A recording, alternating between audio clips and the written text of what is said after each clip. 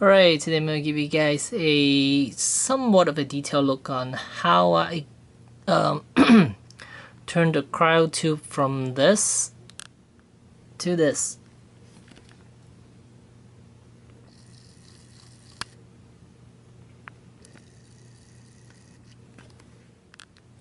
Alright, here you see two lights shining on Master Chief, so you can see here's uh, sleeping in there. And um, if I turn this thing around a little bit, you would see a switch right there. That's an on-off switch. And if I switch this, uh, I mean, if I flip the switch off, lights go off, go out. And here's a look at inside the cryo tube. Here, see a green light over here. And over on the other side, you see another green light. So yeah, there he is. Uh, let's get started. Alright, in this portion I'm going to um, show you guys how to deconstruct this uh, cryo tube. Uh, first thing, uh, I don't know if this is necessary, but uh, most likely you'll have to take it out too. Uh, the back panel, there are two screws one right here and one right here. Basically the whole thing sits right there. So you just take that off. And then you have to unscrew this. There's a use this. There's a screw in here. You have to take that out. There's another screw down here. You have to take that out. And then you want to uh, detach the top portion of it uh, basically, uh, they are just pegged in. There are no screws whatsoever attaching uh, the lid to the cylinder. And uh, they're just pegged in like so. Four pegs right there. And what you want to do is that uh, get a flathead screwdriver and shimmy through here to the slot. And then it should pop right up one at a time. Three. This one was the hardest. I don't know why, but it is for me. So you just pop them off, and uh, here you see the inside. Uh, basically, if you remove those three screw screws, then uh, the top lid would open up as well. And then for the for the tube itself, it's fairly simple because you already removed the two uh, screws that's holding two halves together of the cylinder and you also have to remove the bottom as well too. There's a screw on the bottom. Remove that one and then this thing should come apart. And this thing should come apart like so. And uh, on the bottom well you could take the seat out because it's just uh, there's nothing attached to it other than uh, some pegs on the side right there four of them and they just uh, pegs onto the side of the tube and then you could remove uh, these two panels. Well uh, this yeah this little step step piece you would have to uh, undo that screw on the bottom first in order for you to remove this piece. And then once this piece is removed uh, this uh, base is uh, pegged onto the side of these two halves now. Here you see two pegs right there and on uh, the bottom right there they just sits right on top of it. So you gotta uh, kind of wiggle it around to remove it. But uh, you don't want to force it because you don't want to break this uh, break these uh, little pegs as well too. And same thing for the other side. And then uh, you would also have to slide this portion out this right here. This is the slider thing. It just slides right in so you just slide slide that out and um, yeah I think so. That should be it. So now here are all the pieces. The base the step stool piece I guess. And there's the the back of, well I guess the bed portion of it. And then uh, the two halves of the cylinder. The back support and the base section and the front of the tube the yeah so there they are Alright, so here's what I have so far. Um, battery, I'm using a 9 volt battery. then uh, its uh, negative part is connected to the switch. The switch uh, is connected to the resistor and the resistor is connected to an LED. And then there's another wire connected to another LED and then loop it all back down to the positive wire to the battery. And uh, here's the switch. And once I flip the switch there are the LEDs so um, basically this is a uh, not that hard of a process to do um, the hardest thing is uh, calculating uh, what resistor you'll need but uh, I'll show you guys what I have here and uh, you guys could just uh, follow along buy the same materials and you'll you'll be golden.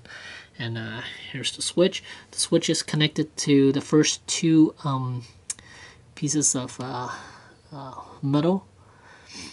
Just two, not the third one, because uh, you need uh, you need uh, you need that switch to be able to turn off and on. So when it's on position, um, the the metal piece inside will connect the circuit, and if you switch it to the off position, it will just disconnect the the the, the, uh, the electricity, the current.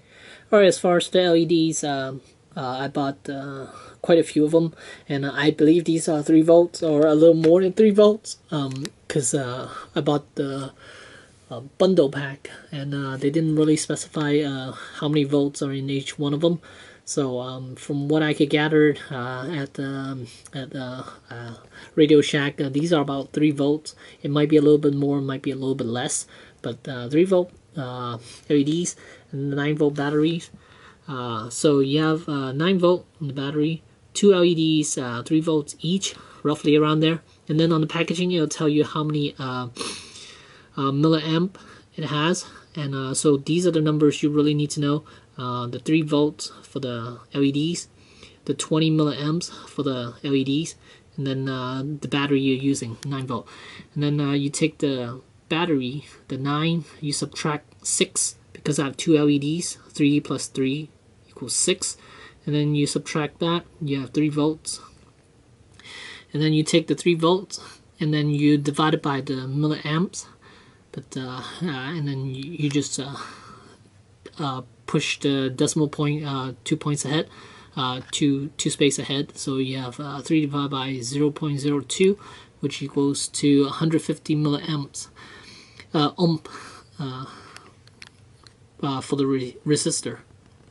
So uh, you divide 3 by 0 0.02, which equals to 150.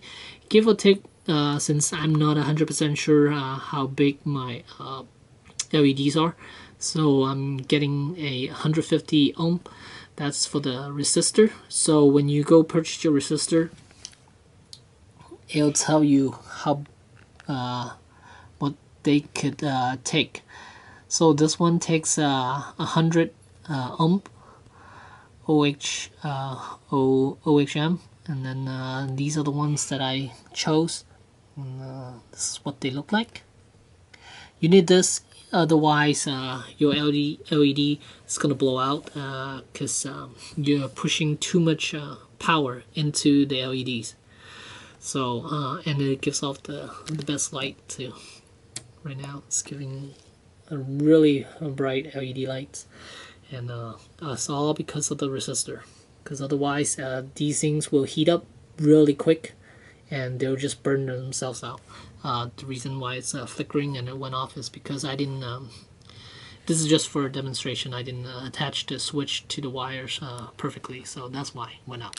And here I'm just showing you a uh, somewhat of an idea what I'm planning to do. Uh, use imagination because uh, these light will not be on the outside, they will be inside the walls.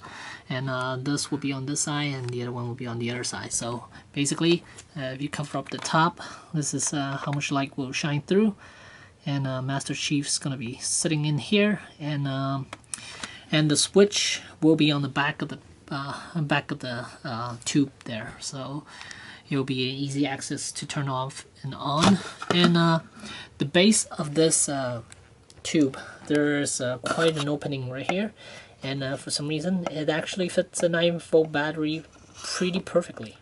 Here you can see here, well most likely I'm just gonna add a little uh, panel uh, so that the 9 volt battery or a clamp so that the 9 volt battery will stay put. And then uh, the wiring will just go inside this tube and all the way out from the back the back of the cryo tube. It's gonna run all the way through in here and then the wire is gonna run along the inside and to the panel so you'll be able to see the light but not the wires throughout this thing. So yeah alright now this will seem a little confusing but uh, actually in reality it's not that bad.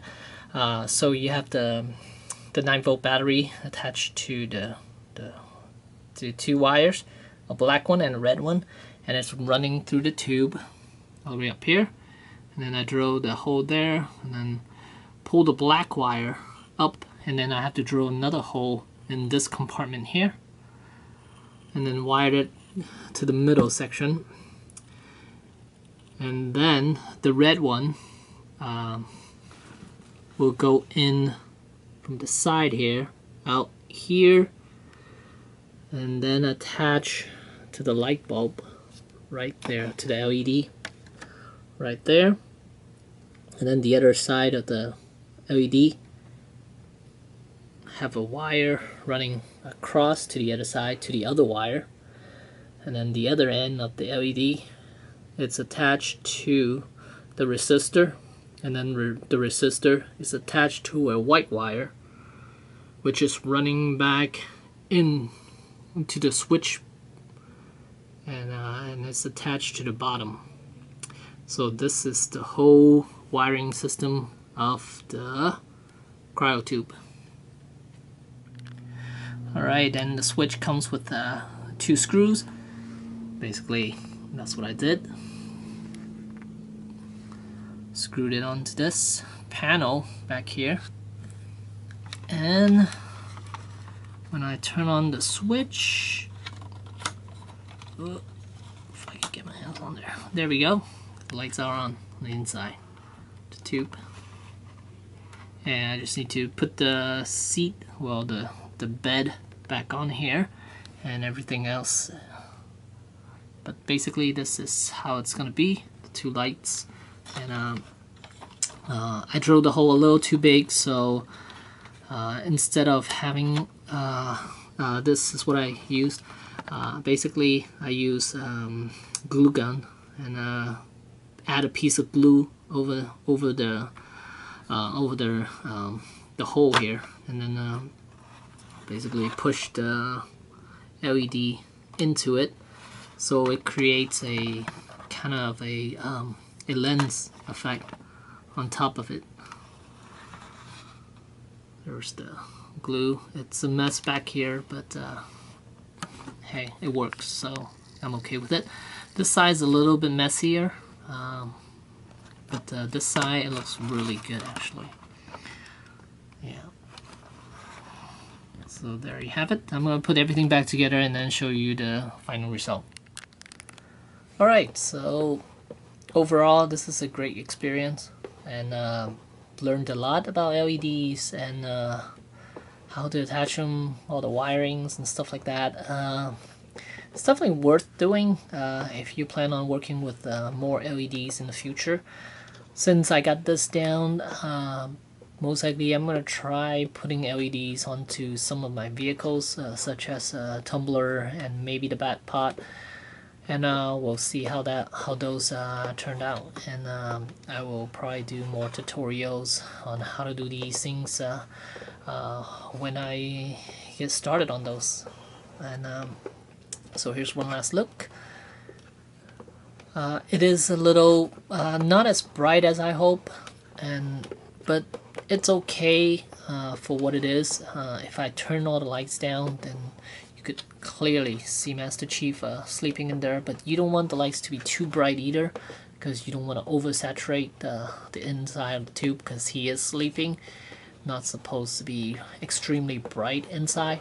And uh, I'm glad the, the LED didn't show through the side of the panels here on the side of the tube. Uh, initially, when I tested it out, um, uh, the, the lights were definitely showing through the side of this uh, tube here. But uh, at the end here uh, end result uh, is not showing through so I'm happy about that. So yeah um, overall it's a great experience and uh, definitely worth doing. And if you guys have any questions uh, you're welcome to uh, message me or comment down below and I'll be happy to answer them if I know how. And here you can see some wires coming through, but barely. You could barely see anything. And uh, I do like the, the touch of a switch on the side here, so yeah. There you go, it's a very clean mod.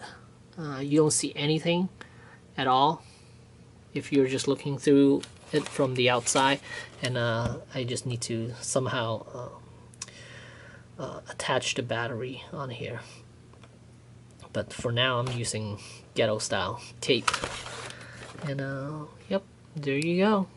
Hopefully you guys enjoyed this video and uh, thanks for watching